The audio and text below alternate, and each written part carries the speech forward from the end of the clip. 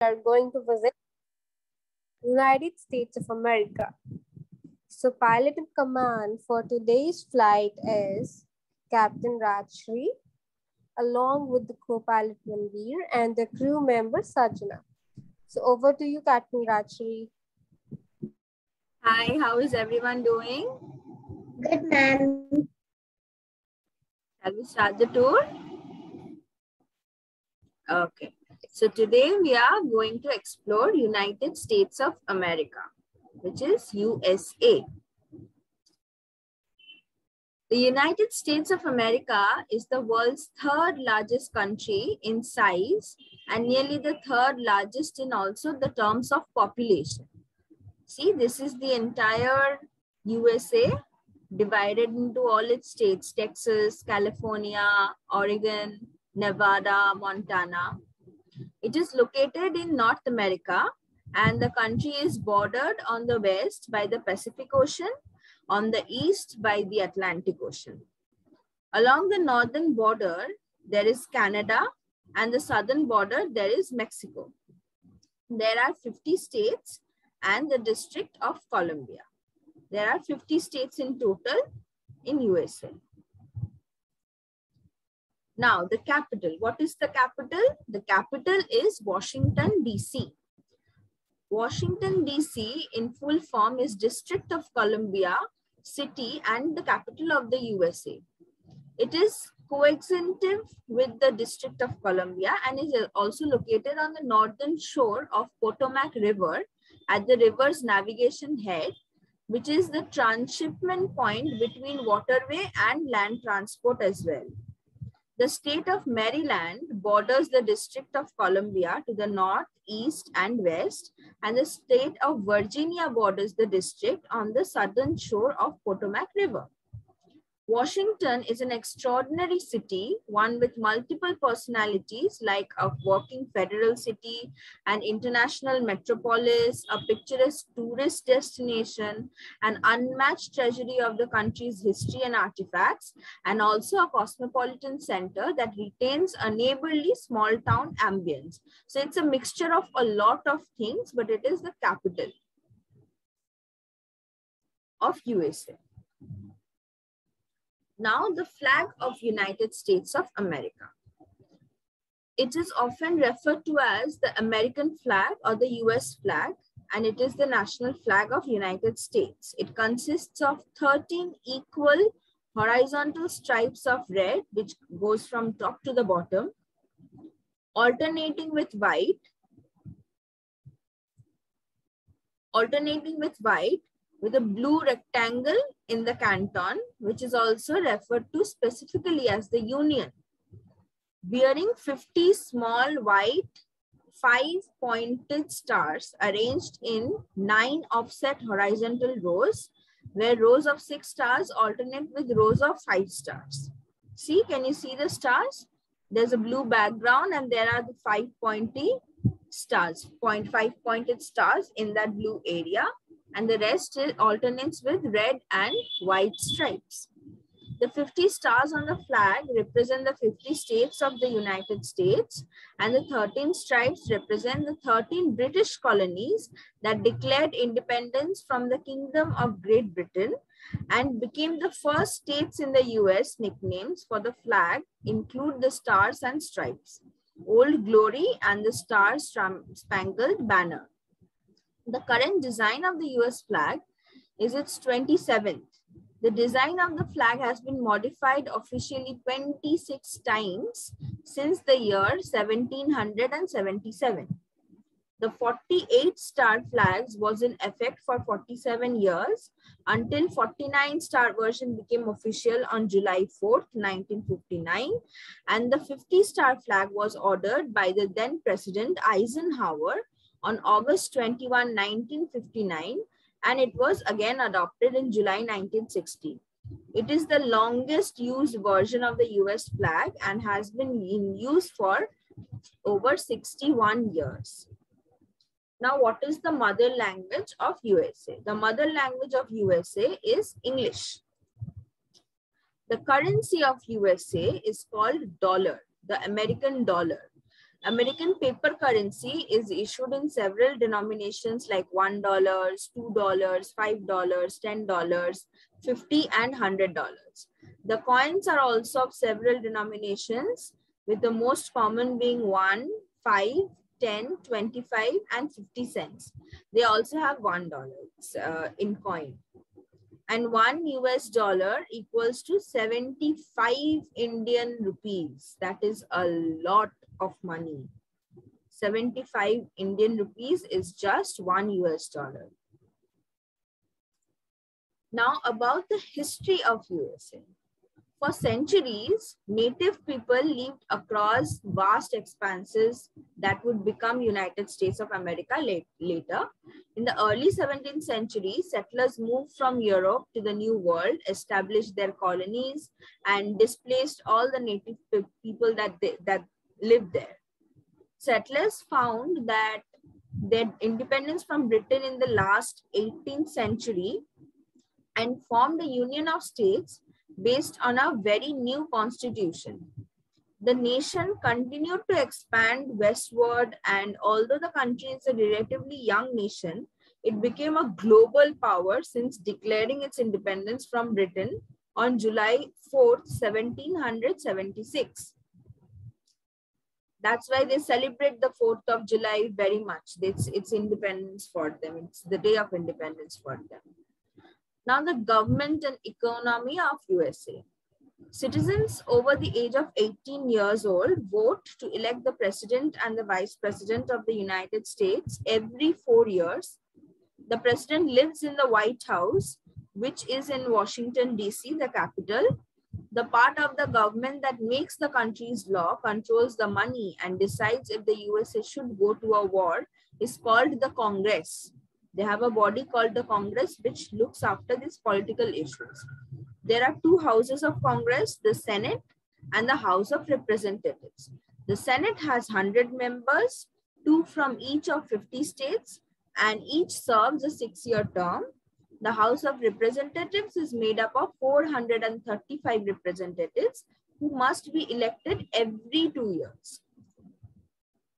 Now the president and the vice president. The president of United States is the head of the state and head of government of USA. The president directs executive branch of the federal government and is the commander in chief of United States Armed Forces. This man is the president. This is Joe Biden. He was recently elected the president of USA. And this is the seal of the president. This is the seal, the picture you see here with the eagle and the badges and everything, the stars. This is the seal. So the national bird, what is the national bird? The national bird is the bald eagle. The national tree is oak. The national sport is baseball. And the national monument is Statue of Liberty. Ma'am? Yes. Abir, you raised your hand, yes? The bald eagle um, is looks pretty big and beautiful. Yeah, it is. The bald eagle is very big and very beautiful. It's very mighty. That's why they have that on their that emblem, no? I showed you in the last one. Here, see, they, this is also a bald eagle.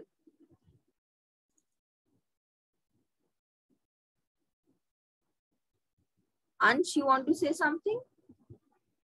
Yes, ma'am. Yes.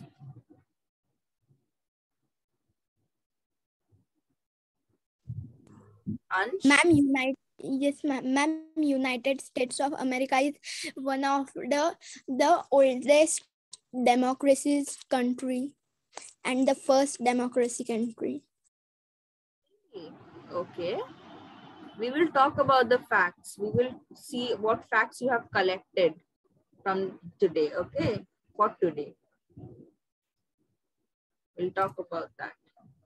See, the, the national sport is the baseball and their national monument is the Statue of Liberty. It's a very big statue standing in the middle of the city is the Statue of Liberty. Now we'll talk about the airlines that they have. Alaska Airlines. Alaska Airlines is a major American airline headquartered in the SeaTac, Washington, within the Seattle metropolitan city. It is the fifth largest airline in the USA when measured by fleet size, scheduled passengers carried, and the number of destinations that it serves. Allegiant. Allegiant Air, also shortened to Allegiant, is American ultra low cost airline that operates scheduled and chartered flights as a major air carrier. It is the 14th largest commercial airline in all of North America. And then we have American Airlines, which is a major American airline headquartered in Fort Worth, Texas, within the Dallas Fort Worth Metropolis. Metropolis. It is the world's largest airline when you measure it by the fleet size, scheduled passengers, and revenue passengers. American, together with its uh, regional partners, operate an extensive international domestic network with almost 6,800 flights per day to nearly 350 de destinations in more than 50 countries. Then we have Delta Airlines. Delta Airlines Incorporated, typically referred to as Delta, is one of the major airlines of the USA and a le legacy carrier. It is the headquarter, it has their headquarters in Atlanta, Georgia. The airline, along with its subsidiaries and regional affiliates, include Delta, Connection operates over 500 and 5,400 flights daily and also serves 325 destinations in 52 countries on six continents. It is a founding member of the SkyTeam Airline Alliance. Now we'll see what food they eat, what food is famous there. So we see, what do we see? Buffalo wings, we see hot dogs, we see Reuben sandwich, meatloaf, and hamburgers. Yes, Abid? Wait a second, wait a second, wait a second. Is buffalo chicken wings made out of buffalo? No, I don't think so. They have a they have something called buffalo sauce, which they use to make the buffalo wings, but they are usually chicken wings. They are, they are not buffalo wings. Thank God. Hamburgers are made of, you know, ham, cow meat. So beef actually. Hamburgers, they eat a lot of hamburgers. Beef is pretty famous there. Okay, now we'll talk about Halloween. Halloween, it's, it's on October 31st and is now celebrated in many countries around the world. But do you know anything about the origins of this scary special day? The tradition of Halloween on 31st October comes from an ancient Celtic festival of Samhain. Samhain was the Celtic New Year and they celebrated it on 1st of November because that was the end of summer and harvest time. And they you like it, they thought that it was the end of life and the beginning of winter which they associated with death. It was also the time for ghosts to return to their earth for a day people light people lit a big fire wore special clothes made out of animal skin and hoped to be safe from the ghosts and the winter. In 609 ad the catholic church put the christian celebration of all saints day on november 1st in 1000 ad the church added all souls day on 20, on 2nd november and all hallows eve or halloween moved to night of 31st November. The pumpkins. The Celts carved faces into vegetables like turnips, potatoes, squash to scare the ghosts and other spirits to make them go away. It was sometimes called a jack-o'-lantern because of an Irish story about a man, Jack. He played a trick on the dev devil and then he walked the earth for all time as punishment. Irish people who became to live who came to live in the USA in the 1800s found pumpkins much easier to carve and this tradition become became one that we see today. See, uh, you have seen carved pumpkins, right? They carved different kinds of, they carved the insides of the pumpkins and they carved different scary faces, smiling faces on the outside of the pumpkin and they put candles inside the pumpkin so it glows so that it makes them scary. Okay, so the USA bucket list, travel list. We will go to the video now and we'll see where the places we should visit. Okay.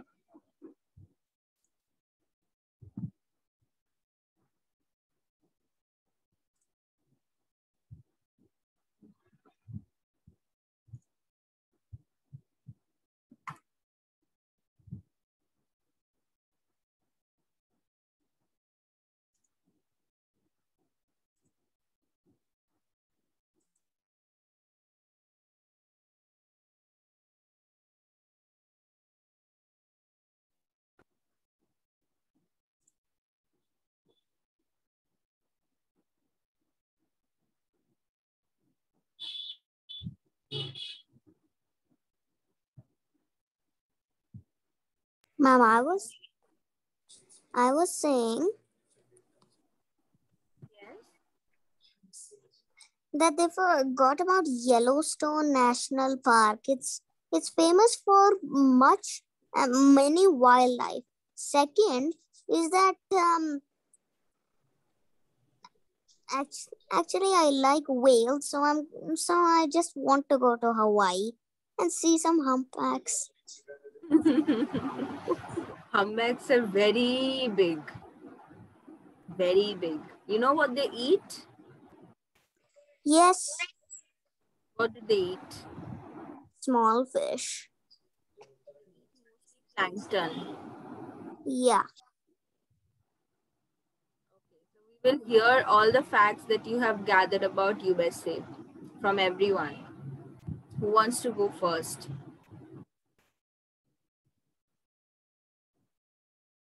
Arika? Okay. Yes, ma'am. Wait a second.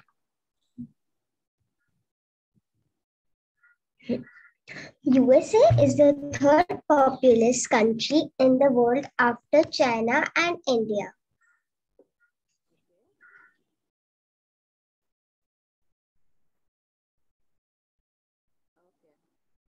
Anyone else? What did you like most about USA? Tell me.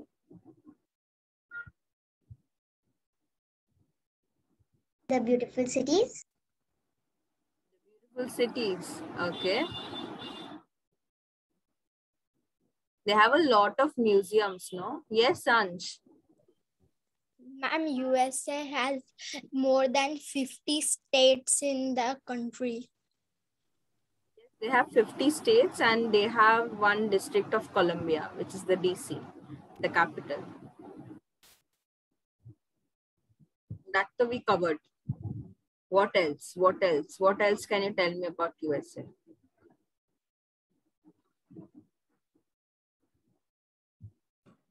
Ma'am, Who wants to go to USA? Yes? ma'am, it's about the Statue of Liberty. It is made, it's a copper statue uh, given by a gift from the France people to the people of US.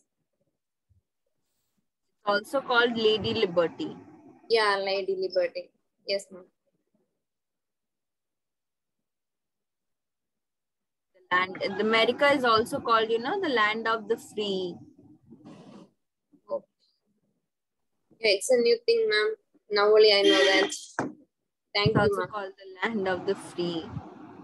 It's because they think that you can, they don't, America believes that it does not matter wherever you come from or whichever country you come from.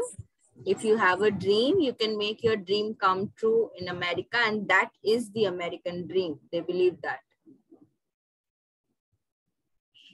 So it's a very beautiful, you know, they have this background that they have. Anything else? Anything else anyone has to say? No? Okay, so I think everyone has enjoyed your tour to the USA. Yeah, yes, ma'am. Yes, ma'am. Okay, so as you know, Monday will be our last tour to Vietnam. So that day we will be having one farewell session as well. So you will be getting your certificates as well as subtitles. So that is one surprise for you all. So I hope all the participants must uh, uh, must come to the event. So on Monday, we will be visiting Vietnam. So bye everyone. Have a good day. Bye, ma'am. good day. You. Bye. Bye. Bye. Bye.